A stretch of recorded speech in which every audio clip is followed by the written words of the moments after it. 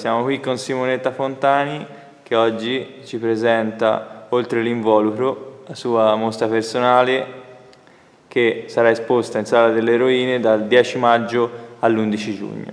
Io oramai è, da quando ero piccola che praticamente dipingo, mi sono data al disegno e alla pittura.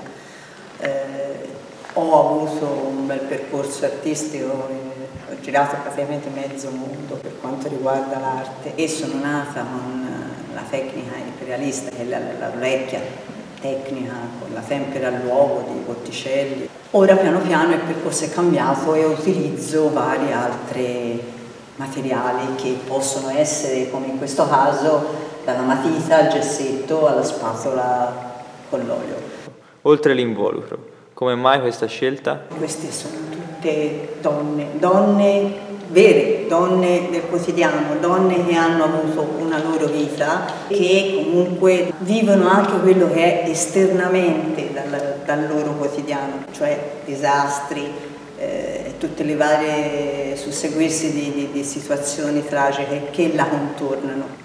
L'esterno è l'involucro però che interiormente eh, tiene l'anima, tiene il malessere, tiene, l'esterno è solo un, un, un, oggetto praticamente.